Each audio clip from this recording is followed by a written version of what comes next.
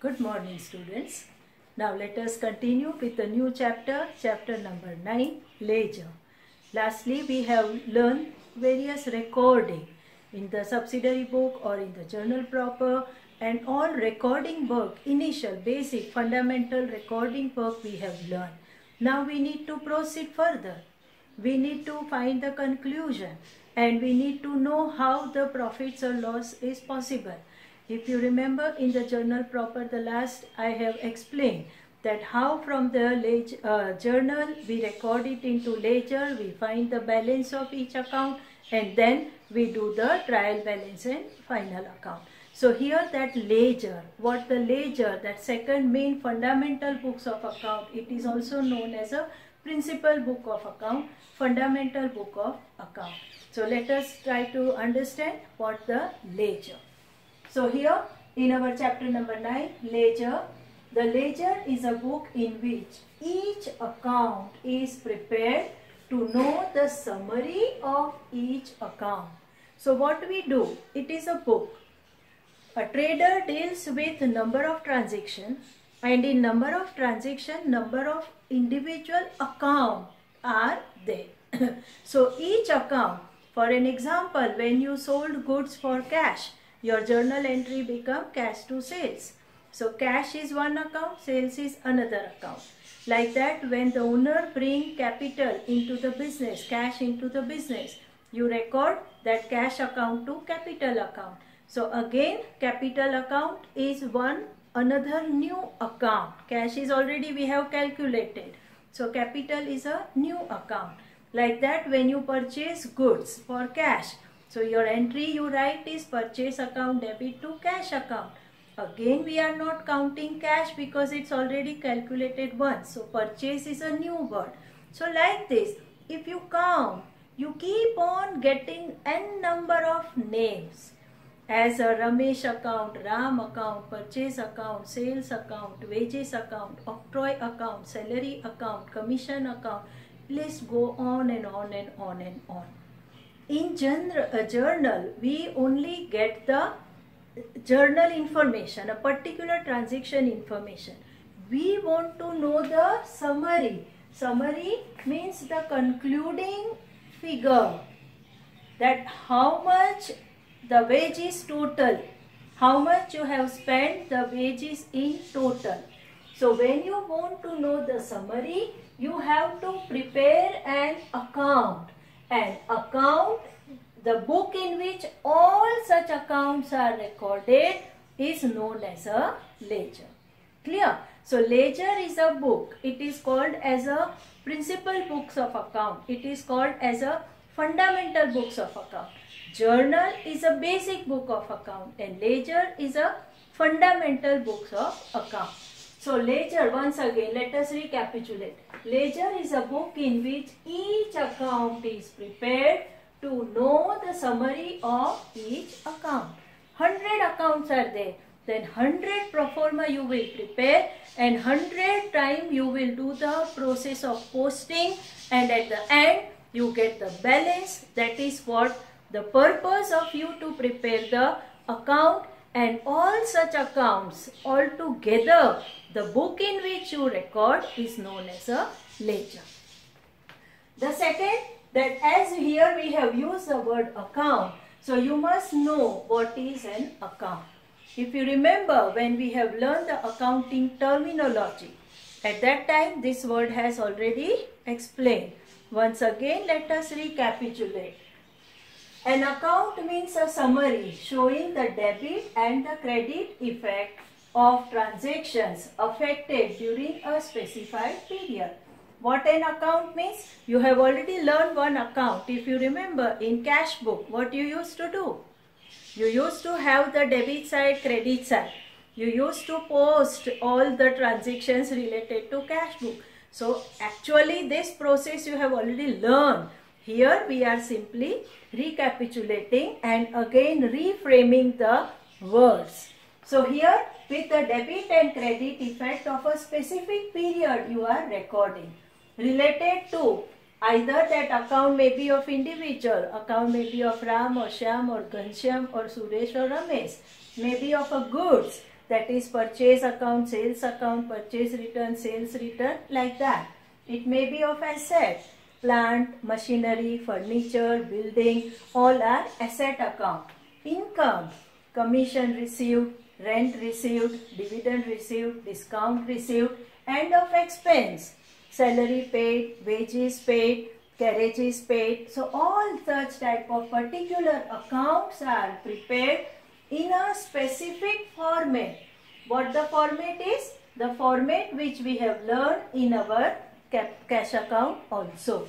In a specific format according to the rules of accounting. Rules are to be followed. Which rules of accounting? Personal account, real account, nominal account. Personal account rules you know. What you used to say?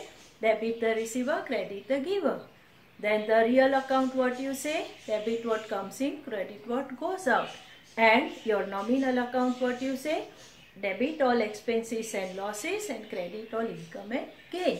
So every time when you post in a particular account, always keep on remember that rule and according to the rule you follow the posting. So the next we see the specimen of an account. So as we have to prepare so many accounts, we must know the specimen. The specimen is the T-form presentation. Account is a T-form presentation. In the cash book first lecture, we have observed this T-form presentation. I am talking about simple cash book. Okay. Don't get confused with the columnar. A simple cash book, cash account, we have observed that what sort of account you have. One debit side, other side is the credit side. You have the debit side date, the date of transaction in a chronological order we used to write. Particular, the journal when you pass in your mind the opposite account related to that transaction to be recorded here in particular. Now here important JF number. See in our uh, journal we used to write LF number because from journal on which page of ledger you uh, book you will get this particular information. So we used to write LF number. In ledger from which page of journal you have taken this transaction. So we write the JF number. Take care of it. And the amount rupees. So this all about debit side. In the same manner credit side. Again the same. Date, particular, JF number. JF number again remember very well and amount rupees. Clear? So the ledger is a book in which all the accounts are open and we try to know the summary of each account. In general, you can say this much. Second, we have learned what is account. Account means a particular account which you open, all the transactions related to that particular account, we get the summary all together and we try to know the balance of each account by doing the posting with the rules of debit and credit and we do in a T-form presentation in a specific format. We prepare each account in ledger book. Is it clear? Next is the advantages of ledger. Why you prepare ledger? Number one, that ledger gives you information regarding balance of each account Number two, while knowing the balance, you are able to prepare trial balance. Number three, with the help of trial balance, you are in position to prepare final account. Number four, ledger established a bridge. It connects. It connect the journal, that is what the general all information and the trial balance or a final account. So it established a bridge. Without knowing balance, you are not able to prepare final account. Directly from journal, you cannot know what is your total sales. You cannot know what is your total capital. So ledger gives you information about how much capital you have invested.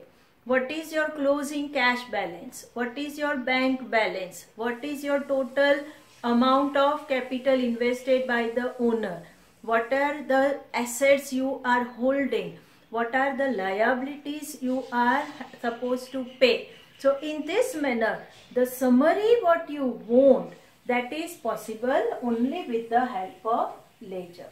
So in this manner, ledger advantages are many and we have to prepare the ledger. Without ledger, it is not possible for any businessman to go further in accounting work.